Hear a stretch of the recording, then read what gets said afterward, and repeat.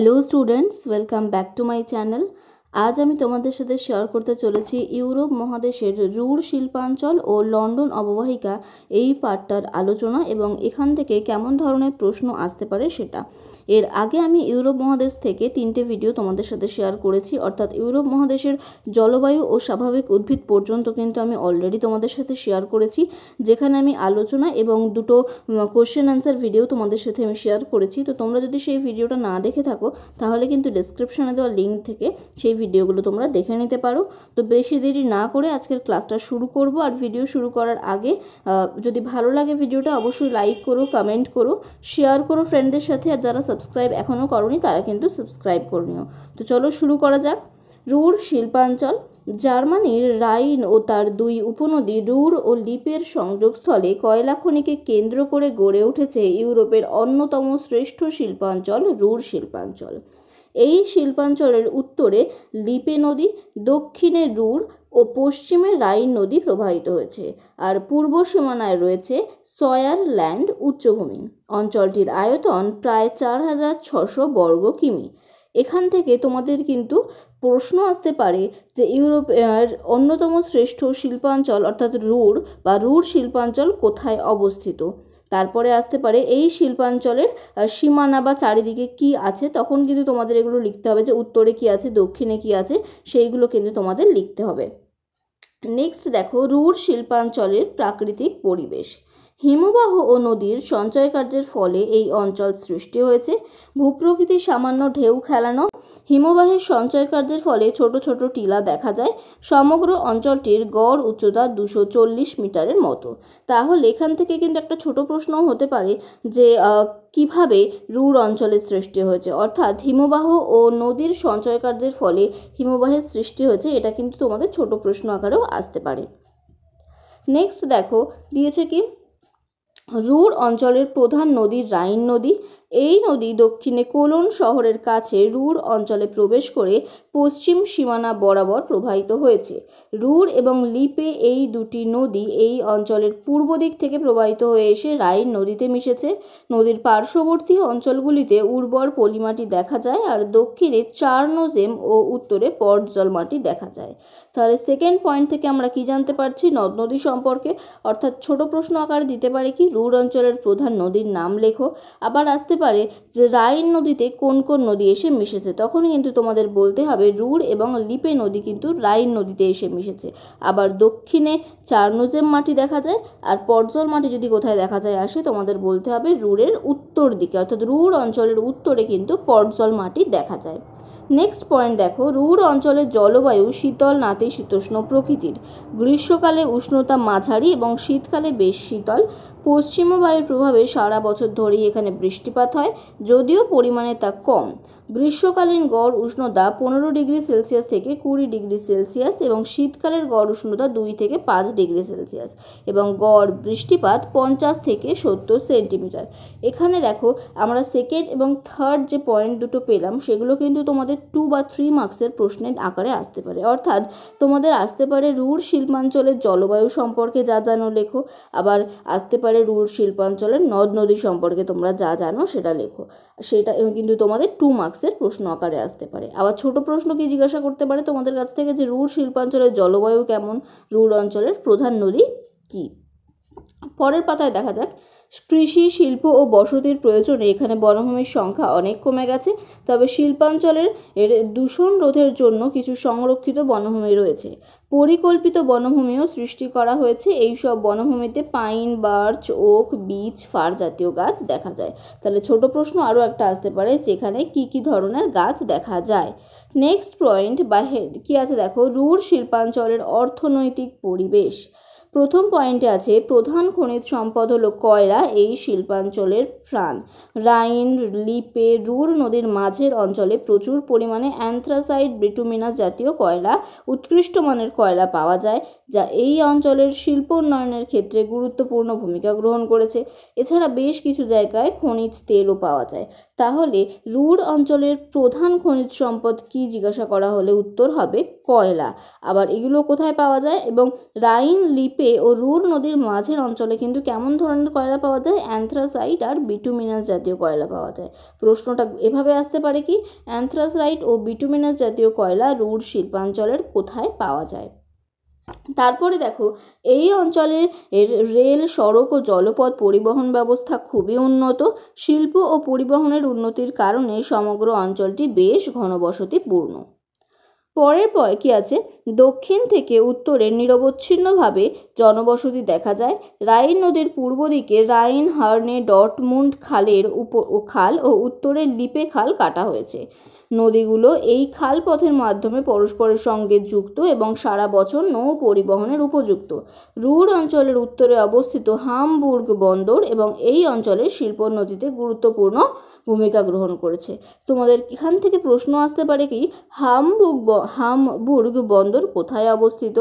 আর এখানে কোন কোন খাল আছে? যেমন রাইন হার্নে ডটমুন্ড খাল এবং উত্তরে আছে লিপে খাল। প্রধান শিল্পাঞ্চল হওয়ার কারণে এখানে কৃষির পরিমাণ ও কৃষির গুরুত্ব দুটোই কম। শহরের পাশাপাশি অঞ্চলে মিশ্র পদ্ধতিতে গম জব আলু, ওট, ফল, ফুলের চাষের সঙ্গে পশুপালন এবং দুধ, মাংস উৎপাদন করা হয়। তারপরে দেখো, রুর অঞ্চলের শিল্প ও শিল্পকেন্দ্র। এটা কিন্তু খুব গুরুত্বপূর্ণ একটা ছক। এটা কিন্তু তোমরা যেগুলো ইম্পর্টেন্ট আমি বলে দিচ্ছি সেইগুলো কিন্তু একটু মনে রাখার চেষ্টা করবে। ছোট প্রশ্ন আকারে কিন্তু এগুলো তোমাদের আসতে পারে। যেমন দেখো, কি দিয়েছে লৌহ ইস্পাত শিল্প এবং শিল্পকেন্দ্র কি কি? ডুইসবার্গ, মুলহাইম, এসেন, ডটমুন্ড, বখুম, গেলসিন, কিরখেন হ্যাম এবং হ্যাটিনজেন নামগুলো একটু খটোমটো, তাই খুব বেশি না হলেও তোমরা কিন্তু দুটো তিনটে করে নাম প্রতিটা শিল্পের মনে রাখার চেষ্টা করবে, অর্থাৎ শিল্প কেন্দ্রের। যেমন লৌহ ইস্পাতটা কিন্তু খুবই গুরুত্বপূর্ণ। ইঞ্জিনিয়ারিং, রেল ইঞ্জিন, মোটর গাড়ি এবং যন্ত্রপাতি শিল্পের শিল্পকেন্দ্রগুলো কোথায় আছে? ডটমুন্ড বখুম এসেন ডুইসবার্গ, গেলসিন কিরখেন হ্যাম, হ্যাগেন গ্লাডবাগ রাসায়নিক, অর্থাৎ রং, ওষুধ, কীটনাশক এবং বিস্ফোরণ শিল্পকেন্দ্র আছে ডুইসবার্গ, হ্যাম, বট্রপ, রেকলিং, হার্টজেন এবং গ্লাডবার্গ তোমরা যদি একটু খেয়াল করো, দেখবে কয়েকটা শিল্পকেন্দ্রের নাম এই তিনটে শিল্পাঞ্চলে কিন্তু কমন আছে। যেমন দেখো, ডুইসবার্গ, এটা হচ্ছে তিনটেতেই কিন্তু এই মানে লৌহ ইস্পাত ইঞ্জিনিয়ারিং এবং রাসায়নিক এই তিনটে শিল্পেরই শিল্পকেন্দ্রতে কিন্তু ডুইসবার্গ অবস্থিত। তাহলে তোমরা কিন্তু এখান থেকে একটু ট্রিক করে মনে রাখতে পারো যে যেগুলো কমন সেইগুলো তোমরা মনে রাখার চেষ্টা করবে। তাহলে রুর শিল্পাঞ্চল থেকে যে শিল্পাঞ্চলেরই নাম মানে শিল্পের শিল্পাঞ্চলের নাম জানতে চাইবে, তোমরা কিন্তু খুব সহজেই অ্যান্সারটা করতে পারবে। আর যেগুলো একদমই মিল নেই, সেগুলো তো চেষ্টা করতেই হবে মনে রাখার, কিন্তু যেগুলো কমন সেগুলো তোমরা যদি মনে রাখো, তাহলে একবারই তোমাদের সবকটা শিল্পাঞ্চল হয়ে যাবে। সিমেন্ট শিল্প দেখো কোথায় আছে? এসেন্স এবং গেল সিন কিরখেন। গেল সিন সিন কিরখেন কিন্তু চারটেতেই সরি তিনটে যেমন সিমেন্ট ইঞ্জিনিয়ারিং আর লৌহ ইস্পাত শিল্পকেন্দ্র আছে। তো এগুলো একটু মনে করে তোমাদের কিন্তু চেষ্টা করতে হবে। বস্ত্রবয়ন শিল্প দেখো এসেন মোচেন, গ্লাডবাগ, আচেন, ডুইসবার্গ এবং বট্রপে আছে। বৈদ্যুতিক শিল্প হচ্ছে আচেন, বখুম এবং ডট মুন্ড। এবং কাঁচ শিল্প হচ্ছে গেল সিনকির খেনে অবস্থিত। খাদ্য প্রক্রিয়াকরণ শিল্প হচ্ছে ডুসেল ডুসেলডর্ফ আর ডুইসবার্গে অবস্থিত। পরের পাতা দেখো, কোনো অঞ্চলে শিল্প স্থাপনের জন্য কি কি প্রয়োজন হয় বুঝে নাও। অর্থাৎ একটা শিল্প স্থাপন করতে বা একটা শিল্পাঞ্চলে কী কী প্রয়োজন হতে পারে সেটা আমাদের দেওয়া হয়েছে। ছবির আকারে, যেগুলো কিন্তু তোমাদের পরীক্ষায় প্রশ্ন আকারে আসলে একটু তোমাদের ডিটেলস অর্থাৎ বাক্য আকারে কিন্তু লিখতে হবে। তো আমি যখন ভিডিও এর প্রশ্ন উত্তর শেয়ার করব, তখন আমি কিন্তু তোমাদের সাথে সেটা শেয়ার করে দেবো। তো এখানে দেখো, প্রথমে দিয়েছে জমি। অবশ্যই কোনো শিল্প অঞ্চল বা শিল্প তৈরি স্থাপনের জন্য আমাদের কিন্তু জমির প্রয়োজন হবে, অর্থাৎ যেখানে কিন্তু কারখানাটাকে তৈরি করা হবে। তারপরে কি আছে দেখো, কাঁচামাল। যে জিনিসটা আমরা তৈরি করব, সেটার জন্য কিছু কাঁচামালের প্রয়োজন হবে, জলের অবশ্যই প্রয়োজন হবে। আর যারা বানাবে জিনিসপত্রগুলো বা যে শিল্পটা বানানো হবে, তার জন্য শ্রমিক লাগবে। সেটাকে কাঁচামাল নিয়ে আসার জন্য বা মাল আমদানি রপ্তানির জন্য পরিবহন ব্যবস্থা অর্থাৎ যাতায়াতের প্রয়োজন হবে। শক্তি সম্পদ অর্থাৎ কারেন্টের প্রয়োজন হতে পারে, তাই শক্তি সম্পদটাও খুব জরুরি। মূলধন তো অবশ্যই লাগবে, নাহলে কাঁচামালই কিনতে পারবে না। বাজার এবং সরকারি নীতি, অর্থাৎ সরকারি কিছু নিয়ম নীতি মেনেই কিছু কিছু শিল্পাঞ্চল বা শিল্প কিন্তু তৈরি করতে হয়। তাই এই সব কিছু মিলেই কিন্তু কিন্তু একটা শিল্প তৈরি হয় বা শিল্প স্থাপন করা যায়। তো এখানে দেখো আমাদের রুড় শিল্পাঞ্চল কিন্তু এটুকুই ছিল। আমি রুড় শিল্পাঞ্চলটা এখানে শেষ হলো আমাদের। এবারে শুরু হচ্ছে কি লন্ডন অববাহিকা। দীপাদের স্কুলে ভূগোল ক্লাসে আজ লন্ডন অববাহিকা পড়ানোর কথা। তার আগে দীপারা নিজেদের মধ্যে লন্ডন সম্পর্কে আলোচনা করছিল। মলি বলল, লন্ডন শহর ইংল্যান্ডে অবস্থিত আর ইংল্যান্ড হলো সেই দেশ যেখান থেকে ইংরেজরা ভারতে এসেছিল। তিতলি বলল, কলকাতা শহর যেমন গঙ্গা নদীর ধারে অবস্থিত, তেমনি লন্ডন শহরটা টেমস নদীর ধারে গড়ে উঠেছে।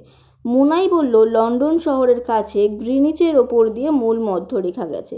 তাহলে দেখো, এখানে ছোট্ট ছোট্ট তিনটে কিন্তু ছোট প্রশ্ন আমরা পেয়ে যাচ্ছি কি কি? কলকাতা শহর কোন নদীর ধারে গড়ে উঠেছে? আবার লন্ডন শহর যেমন কোন নদীর ধারে গড়ে উঠেছে? তারপরে লন্ডন শহরের কাছে গ্রিনিচের ওপর দিয়ে কিন্তু মূল মধ্যরেখা গেছে। তাহলে লন্ডনের কোথায় থেকে মূল মধ্যরেখা গেছে? এই ছোট ছোট কিন্তু তিনটে প্রশ্ন আমরা পেলাম। তারপরে কি আছে? এক নজরে লন্ডন অববাহিকা। অবস্থান কোথায়? ব্রিটিশ যুক্তরাজ্য রাজ্যে সীমানা কি? উত্তরে চিলটাউন উচ্চভূমি, দক্ষিণে নর্থ, ডাউন্স উচ্চভূমি, পশ্চিমে রেডিং শহর এবং পূর্বে উত্তর সাগর অবস্থিত। আয়তন কত? সাত হাজার সাতশো ষাট বর্গ কিমি প্রায়। অববাহিকার আকৃতি কেমন? মাটির সরার মতো।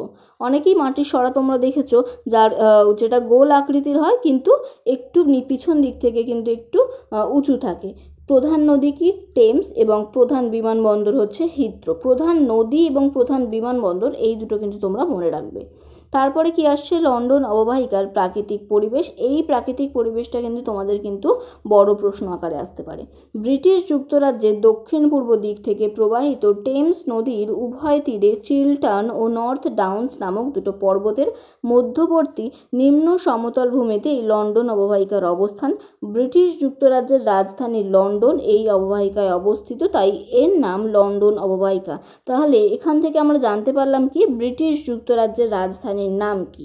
লন্ডন অববাহিকা অঞ্চলের প্রায় মাঝখান দিয়ে পশ্চিম থেকে পূর্ব দিকে টেমস নদী বয়ে চলেছে। টেমস নদীর মোহনার কাছাকাছি বা লন্ডন অববাহিকার পূর্ব দিকে বিশেষ কোনো উচ্চভূমি দেখা যায় না। তবে উৎস অঞ্চলে বিশেষত উত্তর, পশ্চিম এবং দক্ষিণ দিকে Chiltern White Horse, North Downs নামে তিনটি উচ্চভূমি লক্ষ্য করা যায়। অতীতে এই উচ্চভূমি অঞ্চলের মাঝখানের অংশ বসে গিয়ে এই নিম্নভূমির সৃষ্টি হয়েছে। পরবর্তীকালে টেমস ও তার বিভিন্ন উপনদীর সঞ্চয় কার্যের ফলে এই লন্ডন অববাহিকা অঞ্চলের উদ্ভব হয়েছে। তোমাদের কিন্তু প্রশ্ন আসতে পারে যে লন্ডন অববাহিকার অবস্থিত কয়েকটি উচ্চভূমির নাম লেখো। তখন কিন্তু তোমাদের এটা লিখতে হবে Chiltern White Horse North Downs. তারপরে কি আছে দেখো? লন্ডন অববাহিকা অঞ্চলের প্রধান নদী টেমস। এই নদী পশ্চিমে কটস ওল্ডস পাহাড়ে উৎপন্ন হয়ে হোয়াইট হর্স ও চিলটন পর্বতের মধ্যবর্তী গোরিং গ্যাপের মধ্য দিয়ে লন্ডন অববাহিকায় প্রবেশ করেছে। পরে পূর্ব দিকে প্রবাহিত হয়ে উত্তর সাগরে গিয়ে মিশেছে। তাহলে টেমস নদী কিন্তু কোথা থেকে উৎপত্তি হয়েছে তার এবং কোথায় গিয়ে মিশেছে এটাও কিন্তু তোমাদের মনে রাখতে হবে। খুব গুরুত্বপূর্ণ এই প্রশ্নগুলো কিন্তু প্রায় এসে থাকে। টেমসের প্রধান উপনদীগুলির মধ্যে লি রোডিং ওয়েমোল প্রভৃতি বিশেষ উল্লেখযোগ্য। আচ্ছা পাশে কিন্তু একটা ছক দেওয়া আছে, দেখো। এখানকার উষ্ণতা হচ্ছে গ্রীষ্মকালে হয় আঠেরো থেকে কুড়ি ডিগ্রি সেলসিয়াস এবং শীতকালে তিন থেকে পাঁচ ডিগ্রি সেলসিয়াস আর বৃষ্টিপাত কিন্তু ষাট থেকে পঁচাত্তর সেন্টিমিটার। তারপরে কি আছে? লন্ডন মানেই সারা বছর মেঘলা আকাশ, ঝিরঝিরে বৃষ্টি, শীতল ও স্যাঁতস্যাঁতে আবহাওয়া। পাশের সমুদ্র দিয়ে প্রবাহিত উষ্ণ স্রোতের প্রভাবে শীতকালীন উষ্ণতা খুব কমে না। পশ্চিমা বায়ুর প্রভাবে এখানে সারা বছরই বৃষ্টিপাত হয়, যদিও এর পরিমাণ কম।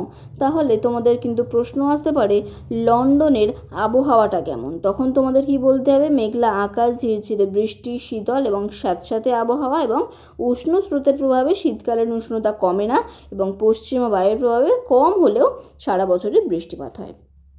খুব জনবসতি ও শহরায়ন ও শিল্পাঞ্চলের কারণে এখানকার বনভূমি পরিমাণ খুবই কম। তবে উচ্চভূমি ও পাহাড়ের গায়ে কিছু ওক, বার্চ, অ্যাশ, লক, পাইন বীজ প্রভৃতি গাছের বনভূমি দেখা যায়। লন্ডন অববাহিকার অর্থনৈতিক পরিবেশ। বসতি ও শিল্পের প্রয়োজনে লন্ডন অববাহিকার বেশিরভাগ জমি ব্যবহৃত হয়। তবু স্থানীয় চাহিদা মেটানোর জন্য এখানে কিছু কিছু অঞ্চলে উন্নত যান্ত্রিক পদ্ধতিতে মিশ্র কৃষির মাধ্যমে কৃষিকাজ করা হয়ে থাকে। এখানকার কৃষির প্রধান বৈশিষ্ট্য হলো প্রচুর পরিমাণে সবজি চাষ। বিপুল শহরবাসীর খাদ্যের চাহিদা মেটানোর জন্য ছোট ছোট খামারে ফল ও শাকসবজি উৎপাদন করে ট্রাকে করে শহরে পাঠানো হয়, একে ট্রাক ফার্মিং বলে। তাহলে ট্রাক ফার্মিং কাকে বলে? এটাও কিন্তু একটা ইম্পর্ট্যান্ট কোশ্চেন তোমরা কিন্তু এটা ভালো করে খেয়াল রাখবে। নদী উপত্যকায় গম জব ভুট্টা আর চিল্টন ও ডাউন্সের উচ্চভূমিতে মিশ্র কৃষি পদ্ধতিতে ওর্চ আলুর ও আলুর সঙ্গে পশুখাদ্য হিসাবে হে স্লোভার ঘাসের চাষ করা হয়। পাশাপাশি উত্তর সাগর থেকে প্রচুর মাছও ধরা হয়। টেমস নদীর তীরে অবস্থিত লন্ডন শহরটি এখানকার প্রধান শহর বন্দর এবং শিল্প বাণিজ্য কেন্দ্র। এই অঞ্চলের রেলপথ ও সড়কপথ জালের মতো ছড়িয়ে রয়েছে, তাই লন্ডন যেমন একটি বিখ্যাত নদী বন্দর তেমনই আন্তর্জাতিক বিমানপথেরও কেন্দ্র। শিল্প যে বিপ্লবের পর থেকে এখানে দ্রুত শিল্পোন্নয়ন হয়েছে, অর্থনৈতিক সমৃদ্ধির কারণে লন্ডন ঘনবসতিপূর্ণ অঞ্চলে পরিণত হয়েছে। মানুষের বাসস্থানের অভাব মেটাতে রেডিং, নিউবেরি, ক্রয়ডন প্রভৃতি অনেক শহর গড়ে উঠেছে। তো তারপরে কি আছে? লন্ডন অববাহিকার শিল্প ও শিল্পকেন্দ্র, যেমন আমরা রুড়েও পেয়েছিলাম। কি দেখো ইঞ্জিনিয়ারিং শিল্প কোথায় আছে? গিলফোর্ডে। মোটর গাড়ি নির্মাণ লুটন এবং অক্সফোর্ড। জাহাজ মেরামতি চ্যাথাম। বিমান ও বিমানের যন্ত্রাংশ রিডিং হ্যামেল হামস্টেড। বৈদ্যুতিক ও কৃষিযন্ত্র রিডিং নিউবেরি। ছাপাখানা বা মুদ্রণ হচ্ছে ওয়াচফোর্ড কাগজ হচ্ছে পারফ্লিক্ট নর্থ ফ্লিক্ট এবং ডট ফোর্ড রাসায়নিক এবং দেশলাই শিল্পকেন্দ্র আছে লন্ডনে। তথ্য প্রযুক্তি বা বিস্কুট আছে রেডিংয়ে এবং ডেয়ারি ও ময়দা আছে লিচেস্টার আর এসেক্সে লন্ডন শহর, পশম, চা, রবার ইত্যাদি পণ্যের একটি প্রধান বাণিজ্য কেন্দ্র হিসেবে খ্যাত। টেমস নদীর খাড়ি মুখে অবস্থিত লন্ডন বৃহত্তম পুনঃ রপ্তানি বন্দর। এটাও কিন্তু খুব গুরুত্বপূর্ণ একটা পয়েন্ট। এশিয়া ও আফ্রিকার বিভিন্ন দেশের উৎপাদিত দ্রব্য এখানে আসে এবং ক্রয় বিক্রয়ের পর এই বন্দর দিয়ে অন্যান্য দেশে রপ্তানি করা হয়। তো আজকে কিন্তু এখানেই শেষ হচ্ছে ভিডিওটা।